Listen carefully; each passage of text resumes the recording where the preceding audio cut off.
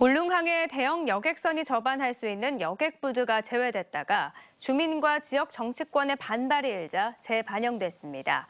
해양수산부는 지난 7월 제3차 전국 항만 기본계획을 수정하면서 경제성이 떨어진다며 울릉항의 여객부두를 제외했다가 반발이 거세게 일자 최근 재반영했습니다.